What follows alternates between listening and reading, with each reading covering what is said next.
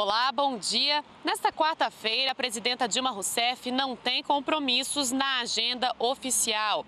E o Sistema Nacional de Proteção e Defesa Civil, o SINDIPEC, é tema de discussão aqui em Brasília em um evento promovido pelo Ministério da Integração Nacional e o Programa das Nações Unidas para o Desenvolvimento, o PNUD.